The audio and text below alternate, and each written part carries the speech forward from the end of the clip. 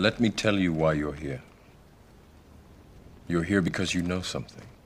What you know you can't explain, but you feel it. You felt it your entire life. That there's something wrong with the world. You don't know what it is, but it's there, like a splinter in your mind, driving you mad. It is this feeling that has brought you to me. Do you know what I'm talking about? The Matrix. Do you want to know what it is? The Matrix is everywhere.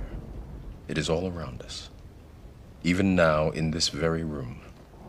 You can see it when you look out your window or when you turn on your television. You can feel it when you go to work, when you go to church, when you pay your taxes. It is the world that has been pulled over your eyes to blind you from the truth. What truth? That you are a slave, Neo. Like everyone else, you were born into bondage, born into a prison that you cannot smell or taste or touch. A prison for your mind.